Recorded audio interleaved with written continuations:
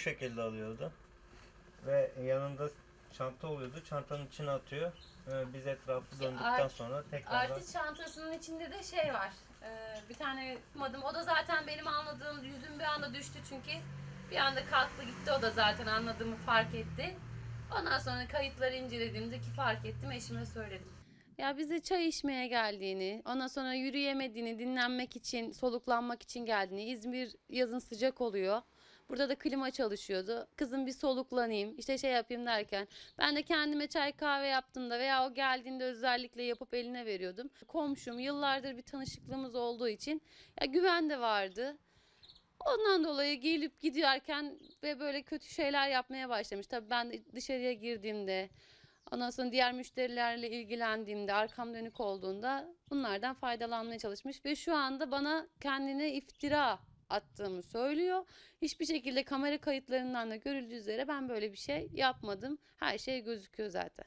E, Kamera kayıtlarında buraya geliyor. Çocuklarım ve ben zaten dükkana bakmak, çalışmakla uğraşırken yani oturduğu yerden sigaraları çaldı. Aşikar belli oluyor ve 3 ay boyunca her gün geldi bu kadın bize ki çok uzun zaman duruyordu. Saat 1'de gelip 5.30'da gidiyordu ve tekrardan biz akşam yemeğini yedikten sonra da tekrardan hadi çocuklar ben size çay içmeye geldim deyip akşam gelip 9'da gelip 12.30'da biz dükkanı kapatacağımız zaman tekrar gidiyordu.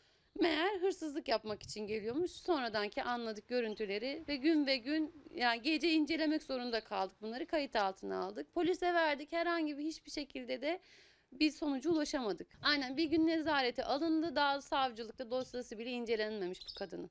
Ve benim yani bir günde 25 karton sigaramı götürüyor bu kadın. Ve gün ve gün çantasıyla geldiği günler özellikle böyle çok miktarda götürüyor. Çok sayıda bir zararımız var. Karakola başvurduk. Bir gün nezarette kaldı. Ve yani dosyası hala incelenmediği için hiçbir mahkeme görmedi.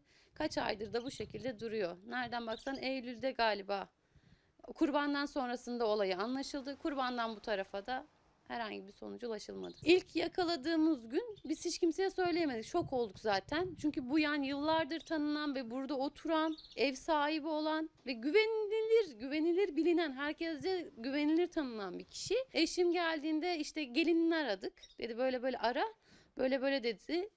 Ee, gelini ve oğlu bize aldığı o günkü aldığı sigaraları getirdiler. 25 karton olaraktan Zaten bir tane çantasının içinde bulmuşlar. Ve diğer sigaraları da aldıklarını getirmesini söyledik. Ki aramızda eşim çağırdı buraya tekrardan bir konuşma oldu bu olay yakalandıktan sonrasında. Abla getir çaldığın sigaralarımı getir. Veresiye yazıyorduk biz ona. Hani onu da kapat. Hani sen sağ biz selamet olalım. Bu konu burada kapansın. Hiçbir şekilde yani ne sen bizi şey yap ne biz seni şey yapalım. Çünkü yani çok büyük bir olay tanınmış bir yerdesin. Bize göre yüz kızartıcı ama şu anda o sokakta gezi tozabiliyor ve bizi bana iftira attılar diye de bizi suçlayabilen bir insan. Durumundan ibaret ve başka yerlerden de almasını istemiyorum açıkçası. Birçok yerden alışveriş yapan bir insan. Daha önceki orlarda da bir iki fotoğrafları çekilmiş. Herkesin dikkat etmesini, kimsenin yani zarar uğramasını istemiyorum. Sonuçta herkes alın teri için çalışıyor. bu şekilde oluyor.